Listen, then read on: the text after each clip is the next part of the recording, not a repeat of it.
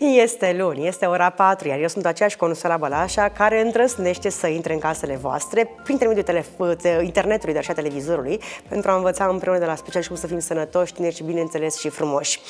Vă anunț încă de la început că suntem în direct, ceea ce înseamnă că îmi doresc și astăzi, ca și în celelalte zile, să ne scrieți întrebările voastre sau să ne sunați, pentru că așa cum foarte bine știți, suntem și prietenoși și dornici să vă auzim, să vă cunoaștem și mai ales să vă oferim răspunsurile specialistului. Exercițiile aerobice dau rezultate comparabile cu bine cunoscuta pilulă albastră împotriva problemelor de erecție, însă fără efecte secundare, reiese dintr-un nou studiu. Câteva ședințe de aerobic pe săptămână par să aibă un efect benefic în combaterea disfuncției erectile, comparabil cu cel al medicamentului folosit pentru această problemă. În alte ordine de idei, medici și farmaciștii spun că de mai bine de un an de zile se confruntă cu un adevărat fenomen legat de o soluție injectabilă creată pentru a fi folosită în diabetul de tip 2, fiind eficient în reglarea glicemiei. Foarte mulți oameni le cer prescrierea acestui acestui medicament pentru scăderea în greutate, chiar dacă nu au diabet, întrucât medicamentul taie foamea aproape complet. Care sunt riscurile la care se supun cei care vor, prin orice mijloc, drumul scurt? Cum a început isteria în jurul acestui medicament și ce este de făcut? Și trecem de la o isterie la alta. Duce postul intermitent la infertilitate? Mai multe studii arată că dieta postului intermitent sau postul intermitent poate spori rezistența corpului în fața stresului oxidativ. În plus, studiile arată că postul intermitent poate să lupte contra inflamației, un alt factor cheie care poate declanșa numeroase afecțiuni. Afectează însă postul intermitent fertilitatea? Cum dezmint specialiștii din sistemul medical aceste zvonuri? Vechiul citat, fie ca hrana să fie medicamentul tău, este atrăgător și se bazează adesea pe știință, mai ales atunci când medicamentele sunt alese în mod deliberat sau concepute pentru a imita hormonii și compușii care apar deja în mod natural în organism. Lângă mine se află dr. Elena Țambra, prietena emisiunii noastre și un specialist de nădejde care cu siguranță face lumină atunci când lucrurile devin complicate, complexe și de ce nu poate chiar sensibile. Bine ai venit! Bun găsit! Bună seara! Mă bucur mult că mi-ai propus tu aceste subiecte, pe semne că în cabinet ai sesizat această nevoie a oamenilor de a avea răspunsuri eligibile, valabile și, bineînțeles, documentate. Vorbeam despre două isterii importante, cea a medicamentului pentru diabet folosit pentru slăbire, dar și a postului pe care poate oferi acest efect advers deloc de dorit în rândul femeilor care își doresc să devină mămici. Ne vei așa să înțelegem exact care este valoarea de adevăr a acestor isterii, când este momentul să intrăm în panică sau, de ce nu, când este momentul să facem alegeri corecte pentru organismul nostru pentru a nu declanșa o isterie în interiorul nostru. Pentru început, analogii hormonali. Explică-ne puțin ce sunt aceștia și de ce a început această isterie în jurul acestui medicament.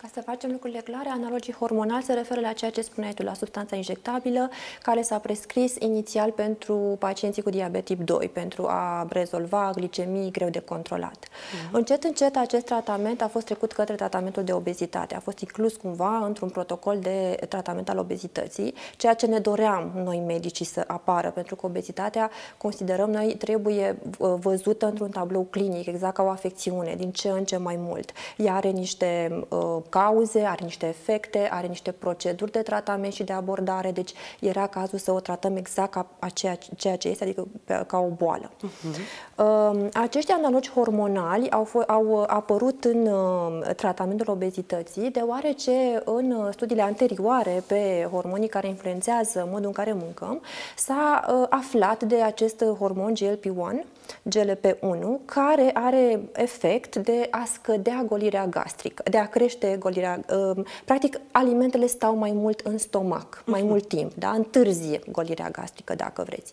Practic, ce se întâmplă este că atâta timp cât alimentele stau mai mult în stomac, stomacul stă destins, atunci hormonii de leptină și grelină se secretă invers, adică nu mai simt foame și mai mult timp nu simt nici poftă, nici simt sațietatea pentru mai mult timp și scade per total foamea și pofta de anumite alimente.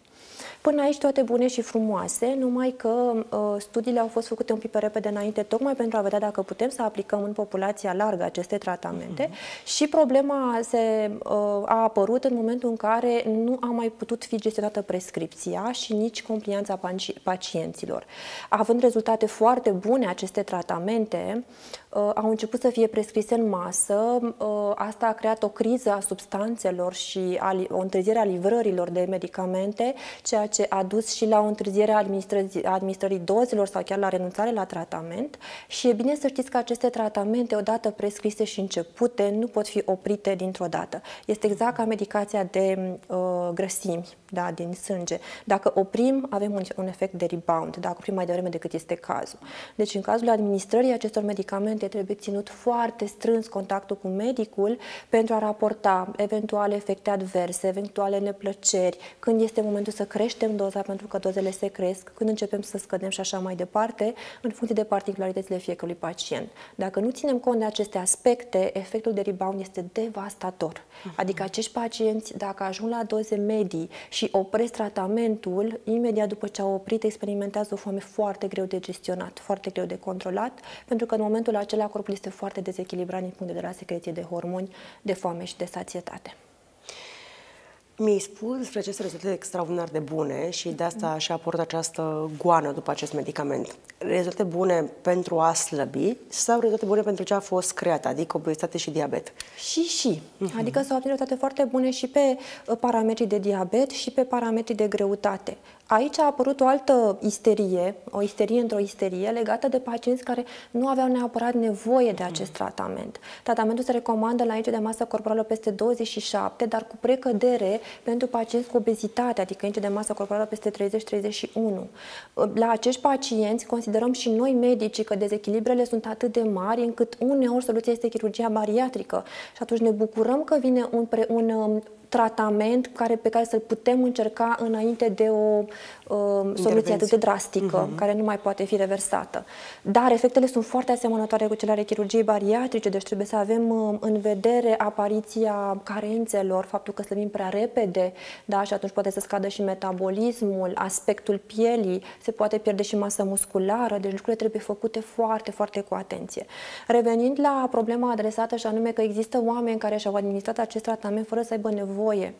Sunt chiar medici, aud de secții întregi de spital, asistente, medici care își administrează acest tratament pentru 3-4 kg de slăbit.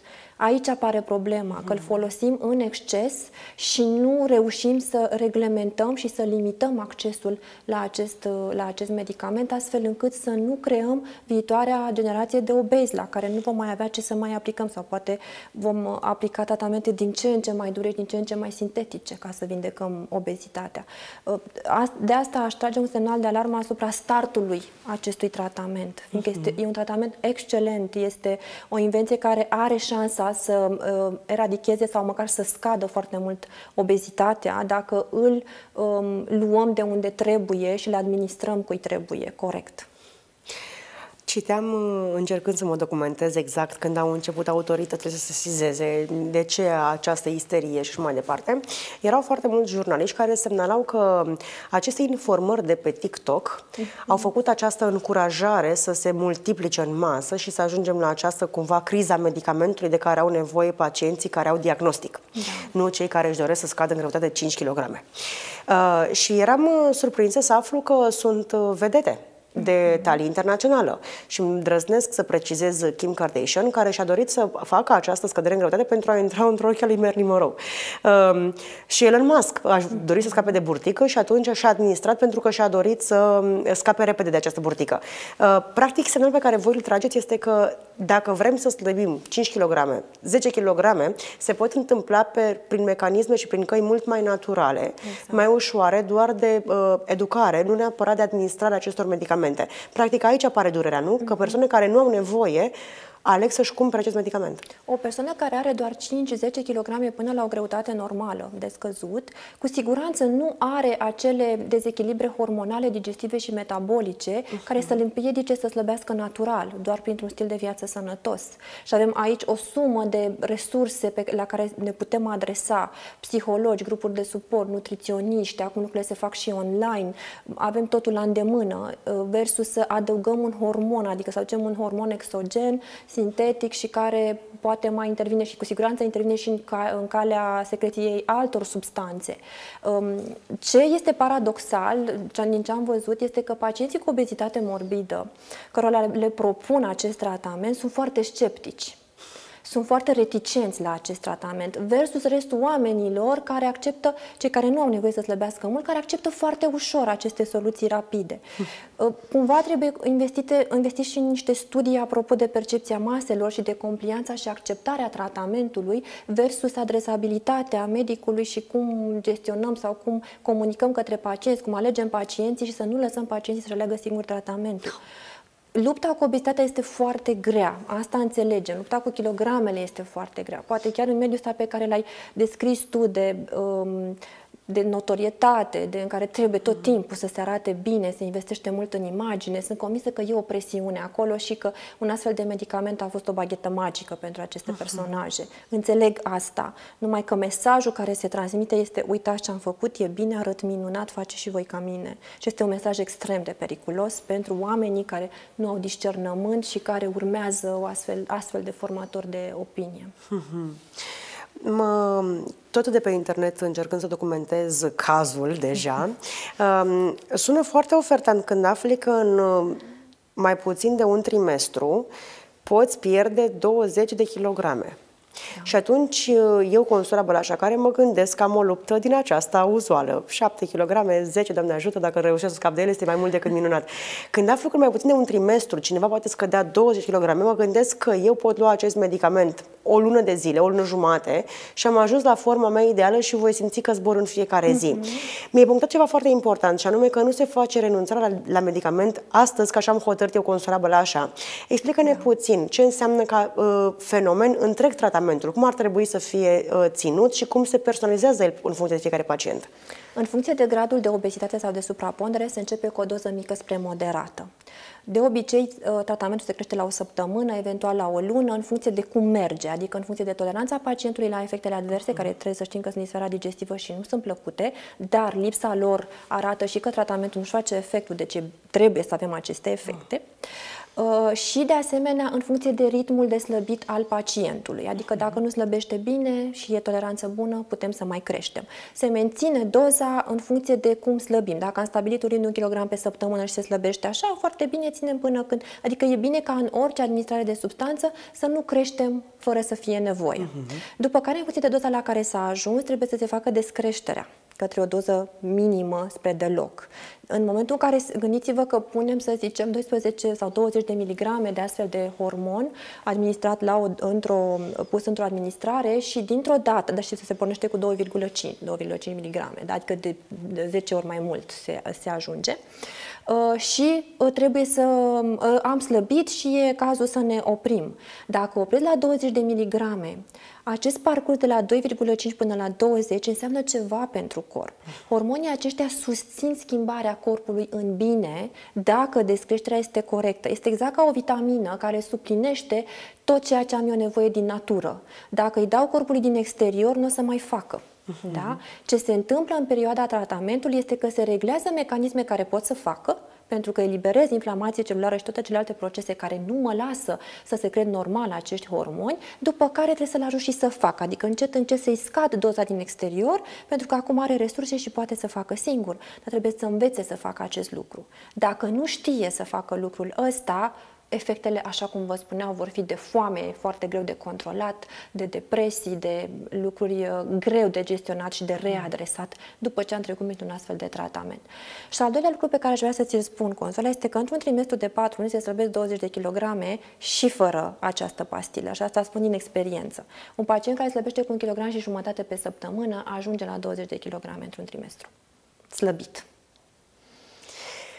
Dragă Consuela Bălașa, dragii mei colegi care vă confruntați cu kilograme în plus, dragii noștri ascultători care desigur vă uitați în oglindă și poate nu sunteți în momentul acesta foarte încântați de cum arătați în costumul de baie.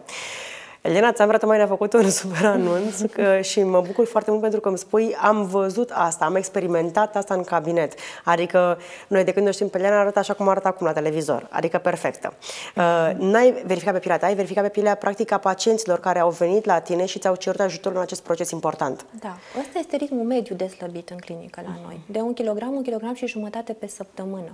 Diferențele între tratamentul cu analogi hormonal și slăbitul sănătos sunt următoarele. Cu analogie mai ușor pentru că mi se taie foamea și nu trebuie să mă mai lupt eu cu lucrurile astea, versus cu dietă în care o săptămână, două va trebui să rezist, să tot încercăm, să cercetăm, să testăm lucruri.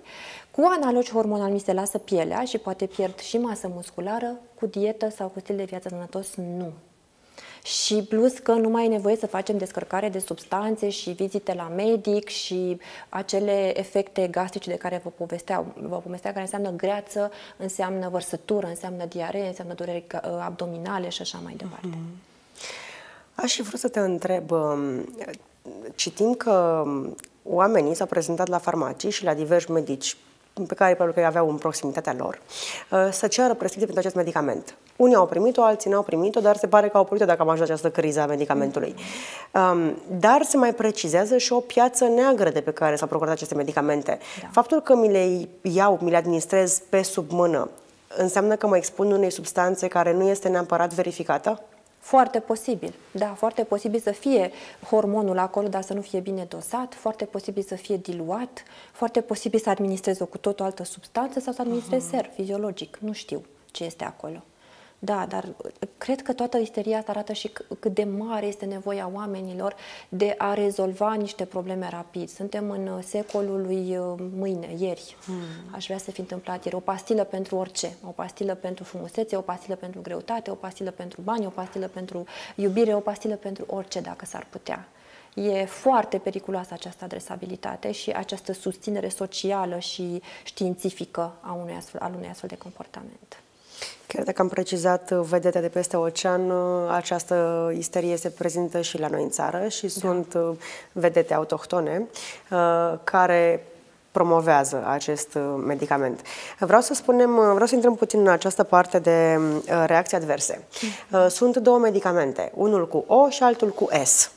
Și mai este unul care urmează să apară și în Europa, da. Ajungem uite și la ce, da. ce, ce urmează și ce ni se va întâmpla în viitor.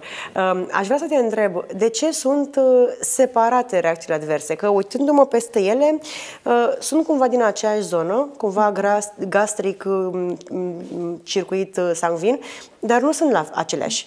De ce diferă? Este vorba de fabricație și de, de niște părți hormonale diferite.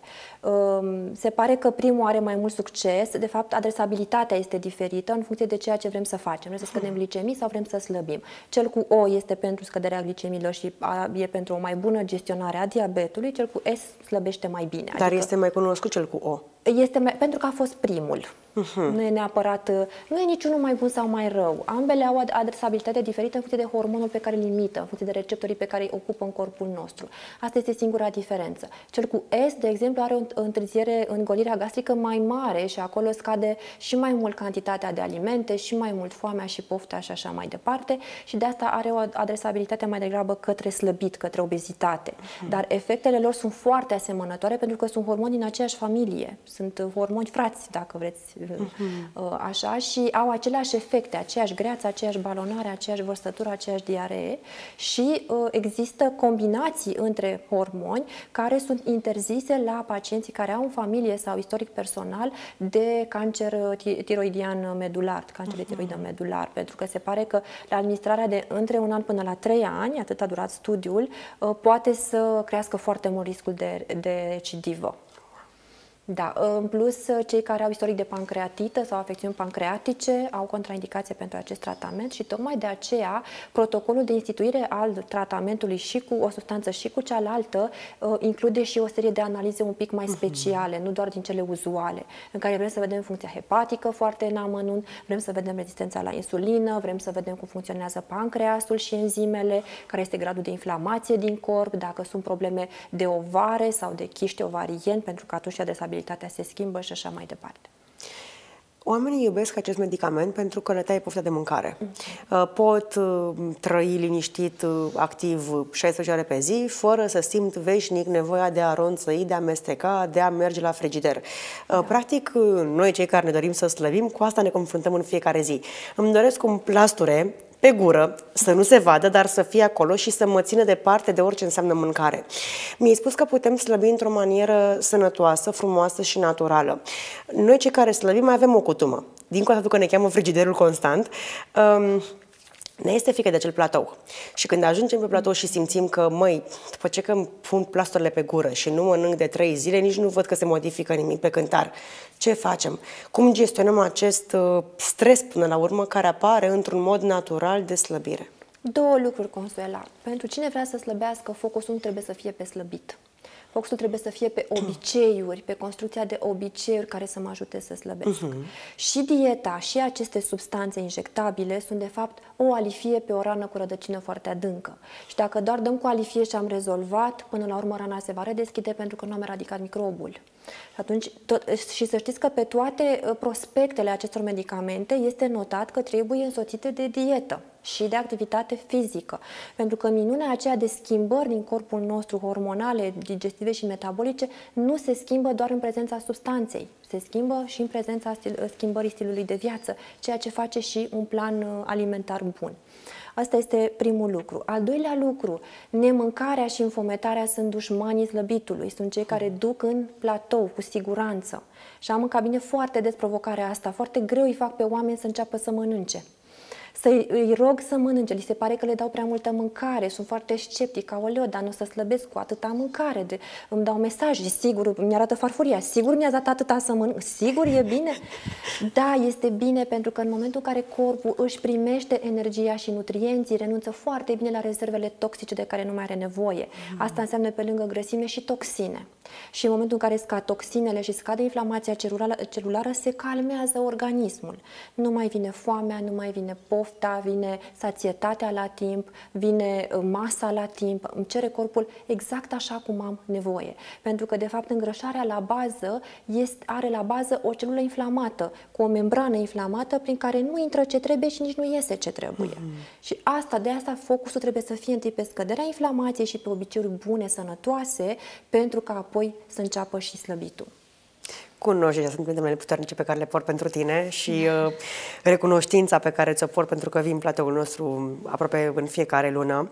Uh, știu că ești un om care s-a împrietenit foarte bune, bine și cu această um, zonă psihoemoțională mm-hmm. și știu că atunci când vine un pacient în cabinet, uh, nu-l privești doar din punct de vedere al meniului și al uh, jurnalului alimentar, ci te uiți cumva la el în ansamblu. Aflăm că ne-a fost dat o structură fizică pentru că, așa cum arătăm astăzi, ne ajută cumva să ne ducem în viață misiunea cu care am venit pe această lume.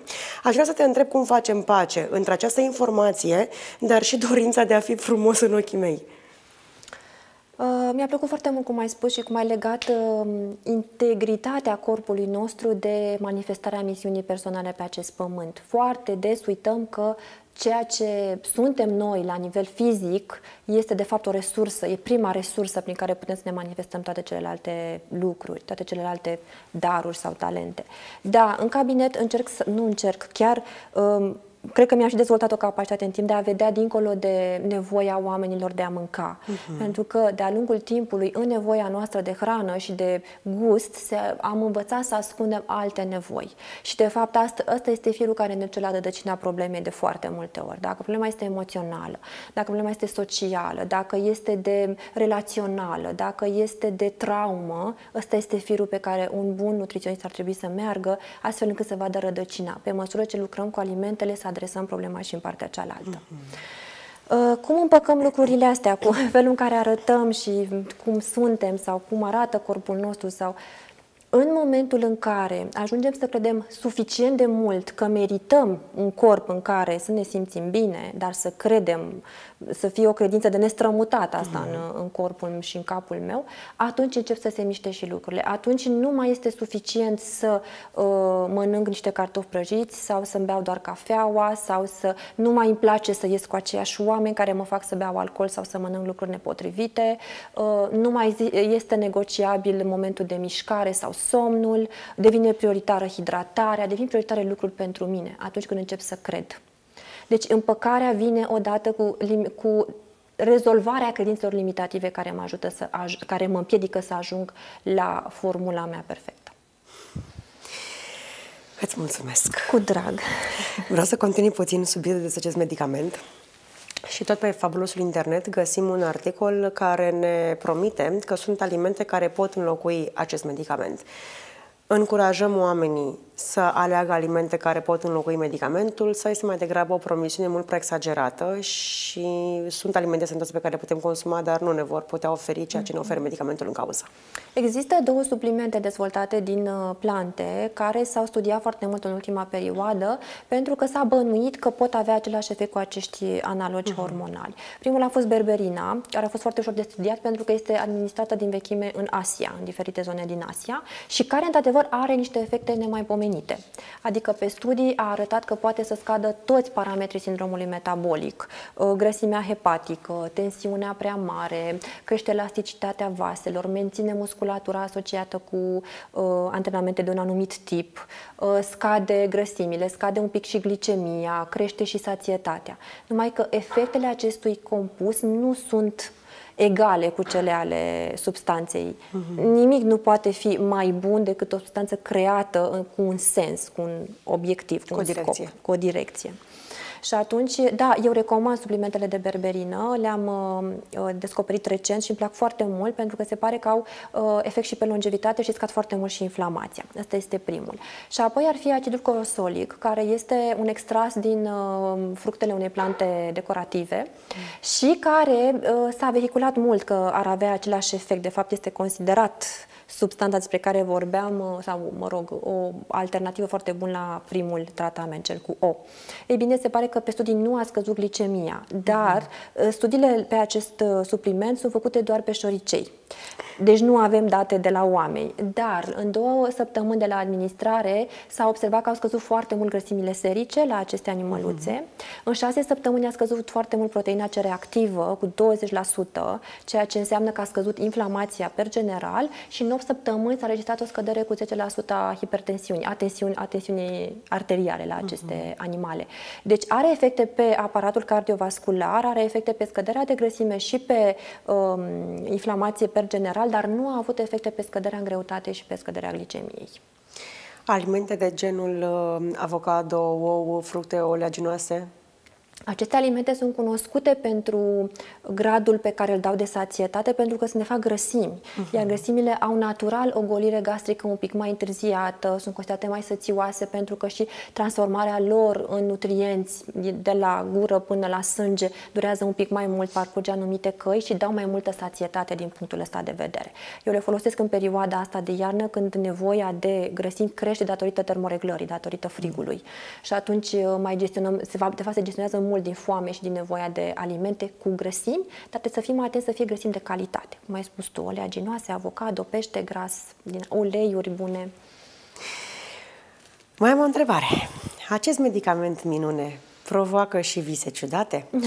Pentru că tot pe veșnicul internet găseam un articol care povesteau că cei care au consumat și, mă rog, au ales să își administreze acest medicament, au um, descoperit că pe o perioadă de au avut o felul de vise dubioase. De la faptul că jefuiau bănci cu J-Lo, până la faptul că venea o mare vedetă internațională să-i declare porți în pântec copilul meu și vreau să-l cresc alături de tine. Uh, ce facem, de fapt? Uh, are efecte asupra viselor noastre, asupra creierului nostru?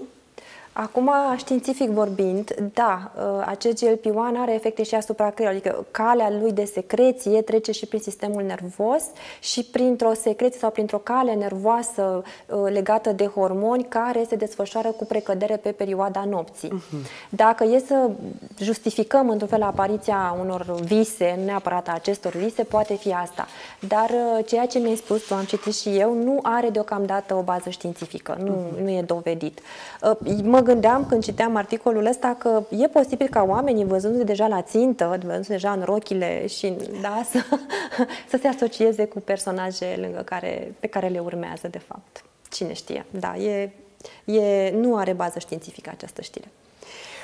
Și toți cei care folosesc acest medicament uh, spun că um, simt o stare de bine general uh-huh. și cumva se simt cu o ușoară euforie. Se confirmă științific această stare sau e doar un, nu știu, ceva care și induc singur doar pentru că văd că scad kilogramele pe cântar? Este mai degrabă un placebo, pentru că de fapt aceste tratamente inițial au fost contraindicate pacienților cu depresie sau cu istorie de anxietate, uh-huh. numai pentru că la o anumită doză, la o anumită cantitate pot să scadă serotonina și dopamina. Uh-huh și atunci uh, trebuie administrate cu precauție. E o discuție aici dacă să administrăm în depresie la obez sau nu, pentru că, da, într-adevăr, slăbitul îmbunătățește secreția acestor hormoni și ajută pe partea de management al depresiei, dar pe de altă parte tratamentul în sine scade serotonina, ceea ce vrem noi de fapt să obținem este serotonină la pacienții uh-huh. cu depresie.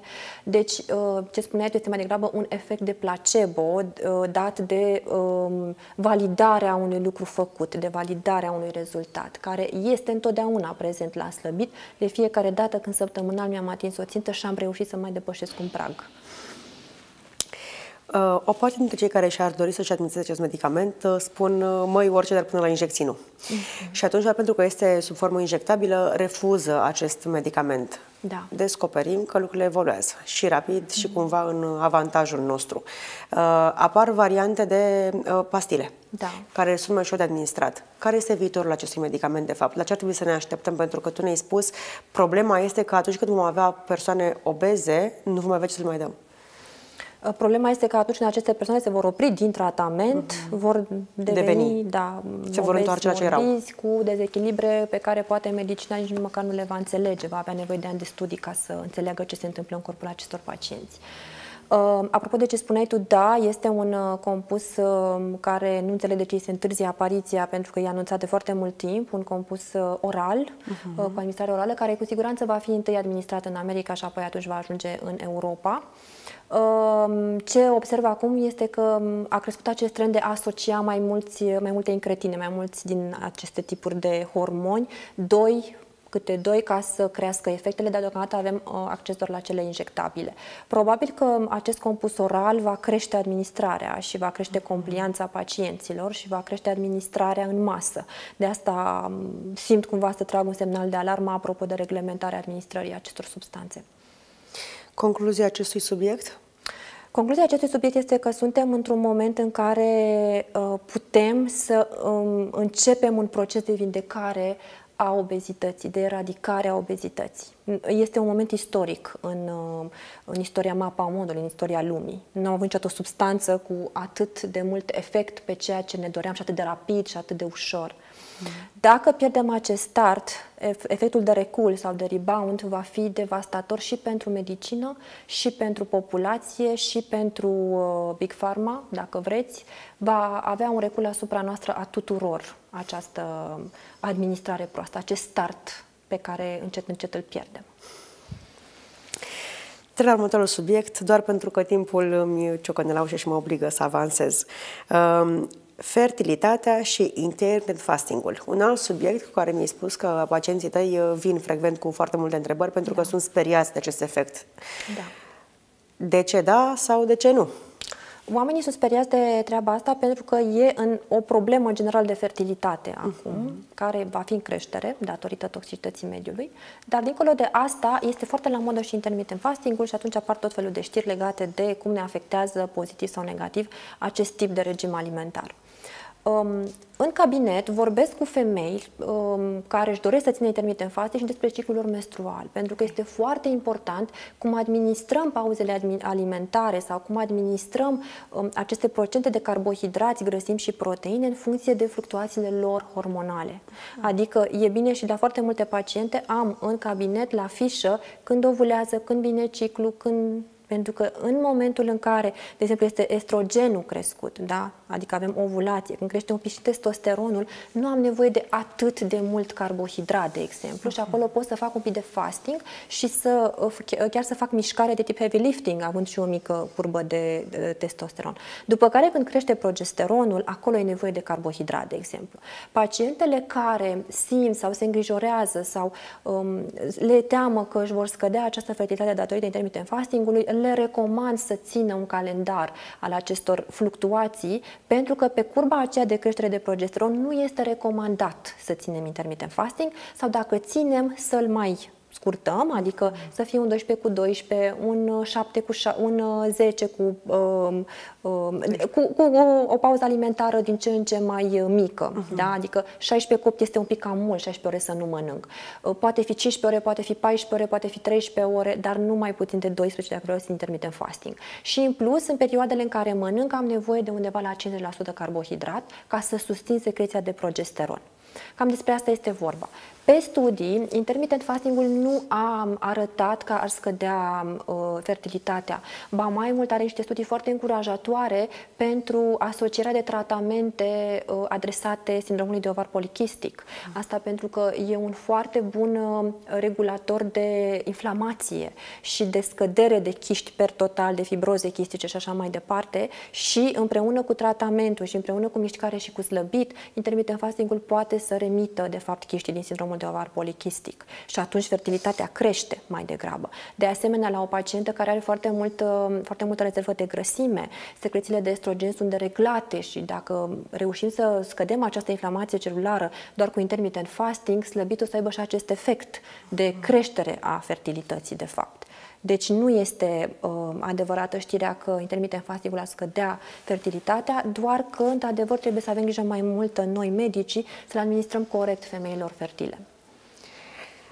Când mă gândeam la intermittent fasting, mă gândeam că este o formulă pe care o aleg la început de drum și vrei, o voi administra a la lung. A la lung da. uh, Ajută-mă puțin să înțeleg. Ne spui că acest uh, post intermitent, uh, de fapt, va trebui să suporte modificări în timpul unei luni, pentru că știm că viața femeilor se cam... Ai se vârte, da o lună și are patru etape la care ar trebui să mă aliniez cumva cu tot ce înseamnă alimentație, program, efort fizic și mai departe. Uh, ajută-mă puțin să înțeleg aici cum ar trebui să uh, decidă o femeie dacă îi se potrivește sau nu internet fasting și cum alege acest interval. Um, de, asta este un sfat de dat femeilor care vor să rămână însărcinate.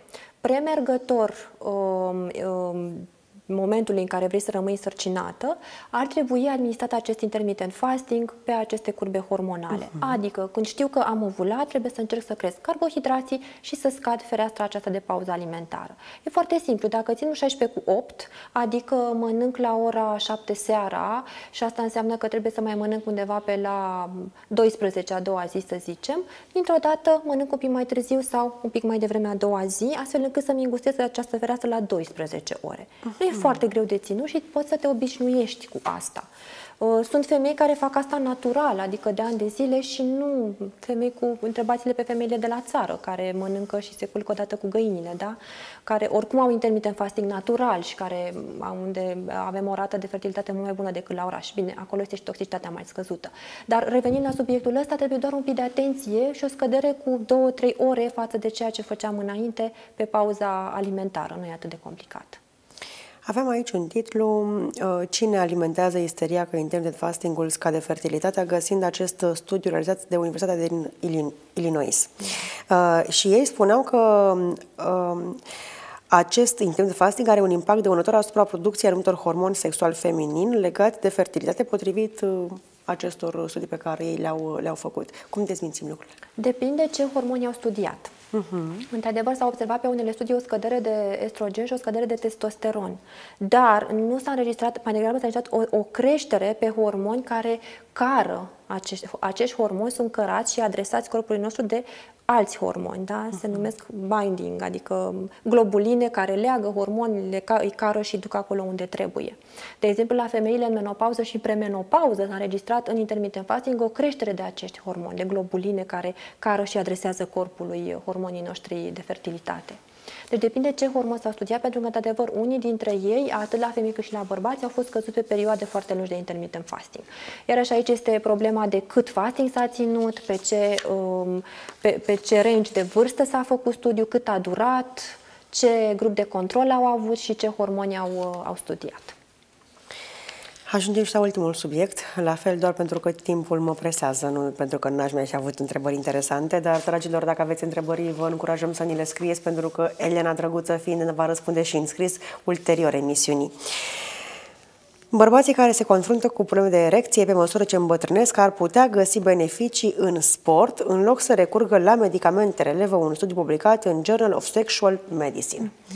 Da. Aflăm că dacă ne mișcăm, deși nu simțim să ne mișcăm, putem fi mai activ sexual? Da, crește foarte mult libido și hormonii sexuali. În special la bărbați se știe că activarea musculară crește indirect secreția de testosteron. Există și o limită aici, pentru că există niște ex- extreme. Bărbații care fac foarte multă mișcare și nu mai au deloc grăsime și atunci stresul uh-huh. oxidativ este atât de mare încât uh, se secretă testosteron, dar se face o, o curbă ca la glicemie, da? foarte sus și apoi scade foarte repede. Sunt bărbații care fac moderat, adică uh-huh. au trei antrenamente pe săptămână care combină cardio cu heavy lifting. Ăsta este studiul de fapt. Da? Și s-a demonstrat că acești bărbați, inclusiv în andropauză, își cresc foarte mult activitatea sexuală, foarte mult. Adică ajung la activitate sexuală normală normală, au un libido normal și se confruntă mai rar cu disfuncții erectile, spre mhm. deloc. Deci ce e de făcut este să, pentru că sunt două direcții, musculatură și cardiovascular, am nevoie și de o circulație bună, oxigenată și am nevoie și de un mușchi activ care să-mi țină testosteronul în limitele bune pentru libido și pentru uh, Uh, să nu am aceste probleme de, de, de uh, aceste disfuncții erectile. Deci e nevoie de cardio sau aerobic care crește foarte mult uh, oxigenarea în mhm. periferie, da, peste tot, pentru că avem nevoie inclusiv în creier de sânge bine oxigenat pentru aceste lucruri și apoi de activare musculară care împreună cu acest sânge bine oxigenat și care curge bine și frumos poate să ducă și testosteron acolo unde trebuie. Da? Um, de exemplu, oamenii care fac, vorbeam de extrema aceasta, de bărbații care fac foarte multă mișcare, îi vedem foarte musculoși, n-au deloc grăsime pe nicăieri. Aici este o problemă și de precursori din care să se facă acești hormoni care îi ajută. Precursorii sunt din grăsimi, Testosteronul este un hormon care îi place foarte mult grăsimea ca secrete natural. Ori bărbații care nu au rezervă de grăsimi fac foarte puțin doar în administrarea din aport. Uh-huh. Și de asta mulți dintre ei simt nevoia să administreze exogen pentru că intră și într-o vrie de a face masă musculară care nu mai crește în absența testosteronului și atunci îl administrează exogen, de pentru care suplimentar intrăm într-o roată, într-un comportament de genul ăsta în care și corpul nu mai știe să mai facă el singur testosteron și în lipsa injecțiilor nu mai face. Dacă am luat 100 de români pe stradă și i-am întrebat ce sport v-ați dori să faceți, pentru că am aflat ceva de, alergat, de alergare ușoară în parc, de bicicletă și eventual ceva la sală cu aparate de forță. Uh, aș vrea să te întreb, ar trebui să căutăm uh, specialiști în această frumoasă arta sportului pentru a mă ghida către un antrenament care să-mi fie benefic pe această parte a funcției erectile? Uh, adică este fezabil, este realizabil să merg într-o sală de sport și zic, ok, cine sunt instructori aici? Voi trei. Am nevoie să fac acest lucru. Cine mă poate ajuta cu sfaturi uh, și o îndrumare uh, sportivă care să-mi ajute, să-mi servească acestui scop pe care l-am? Nu știu dacă există la sală coach care să aibă o adresabilitate bună pentru acest scop, pentru a evita uh-huh. disfuncția erectilă. Greu de, de crezut că există așa ceva. Și atunci mai degrabă, cred că e nevoie de o echipă. Doctor, coach, uh-huh. doctorul să spună, uite ce avem nevoie, trebuie să ai cam atâta procent de grăsime, mi se pare că pe analize lucrurile nu stau bune, bine cu precursorii de testosteron și cu uh, poate suplimentele sau uh, mineralele care susțin secreția de testosteron uh, și ai prea, mult, prea puțină masă musculară. Deci ce avem de făcut? Este să creștem cu atâtea procent uh, grăsimea sau mușchii, în funcție de nevoia pacientului și să facem la un timp analize ca să vedem dacă se rezolvă lucrurile astea astea și pe alimentație îți dau să mănânci asta. Hai la sală ca să faci... Deci coachul poate să adreseze doar această zonă de compartimentare a corpului. Uite ce mi-a zis doctorul să fac. Uh-huh. Să-mi scadă grăsimea și să crezi mușchiul cu parametrii ăștia. Poți să mă ajuți? Eu cred în coach. Pe orice zonă avem nevoie să învățăm sau să creștem, cred în coach. E nevoie. Dar de multe ori um, nu avem experti, toată expertiza. Nu o să găsiți un nutriționist care să știe și să facă mișcare și ce sunt fibrele albe, roz, roșii din mușchi, da? și cum se contactă, scurte, lungi și așa mai departe. Așa că nu cred că veți găsi la sală un coach care să știe să vă dea tot ce aveți de făcut pentru a preveni disfuncția erectilă. Și atunci facem echipă. Și atunci facem o echipă multidisciplinară, da. Pentru că ești nutriționist și pentru că mai avem aproximativ 2-3 minute, vreau să întreb și despre alimentația bărbaților care își doresc să crească funcția erectilă. Uh-huh. Sunt alimente pe care nu ar trebui să le consume pentru că îi liniștesc prea mult sau sunt și alimente pe care le pot consuma pentru că, da, le fac bine acestor uh, zone importante? Două lucruri. Ce este de evitat este zahărul, este cel mai mare dușman al libidoului bărbaților și uh, alcoolul Uh-huh. Iar în ceea ce privește ce e bine să uh, mâncăm, sunt grăsimile de calitate, ex- că tot la ele ajungem exact cum spuneai tu, adineauri, uh, combinate cu sau stropite din plin cu vitamine, adică cu oțet sau cu uh, vitamina C din uh, sucul de lămâie uh-huh. și cu multe vegetale consumate în stare crudă. Combinațiile astea sunt foarte plăcute de hormonii masculini. Scoatem din dulap ceaiul de tei? Asta este un mit apropo de ceai de tei și infertilitate. Uh, nu are substanță, Științific. nu bem atât de mult ceai de tei. Mai degrabă mâncăm fast food și dulciuri și bem alcool decât bem ceai de tei, suficient cât să ne facă rău. Ne împrietenim cu Țelina și Rodia? Ne împrietenim cu rădăcinoasele și cu, de fapt, cu toți carbohidrații uh, buni. Rodia este un fruct, deci este un carbohidrat bun. Uh-huh. Țelina este și ea, mai ales gătită, este un uh, carbohidrat lent. Și apropo de țelină, efecte foarte bune au și morcovii, păstrânacul, uh, pătrunjelul rădăcină și țelina, adică toate rădăcinoasele care se folosesc în ciorbe. Dragilor, faceți o ciorbă extraordinară, că vă asigur că va fi bine pentru voi, pentru că va consuma el. Mă bucur că ai spus despre alcool. Scoatem vinul din rețeta magică pentru noapte de neuitat? Să știți că alcoolul nu are. Alcoolul mai degrabă relaxează, uh-huh. adică ne face să fim un pic mai deschiși, dar la nivel de ce se întâmplă cu hormonii, ce se întâmplă cu sângele, ce se întâmplă cu țesuturile noastre în timpul actului sexual, sunt mai degrabă afectări negative din cauza alcoolului, nu pozitive. Asta este cel mai mare mit posibil despre, despre sex legat de alcool. Nu nici ajută. pentru ea, nici pentru el. Pentru niciunul. Uh-huh. Eu îți mulțumesc foarte mult, Iarna, pentru că ai fost lângă mine. Îți mulțumesc pentru că da. vii către noi cu informații frumoase, ușor de înțeles și, uh, deși sunt super științifice și documentate, le înțelegem ușor pentru că tu ni le explici ușor. Uh, mi-aș dori să obțin de la tine promisiunea că ne vom vedea și în decembrie. Îți promit. îți mulțumesc mult. Vezi că este o lună scurtă.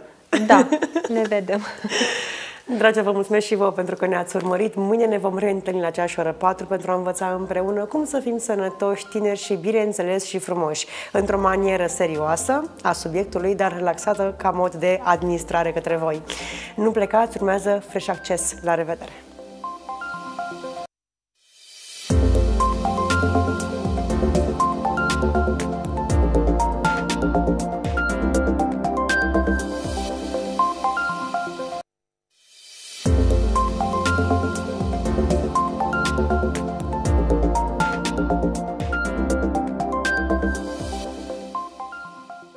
Acest program a fost oferit de Maurer Imobiliare.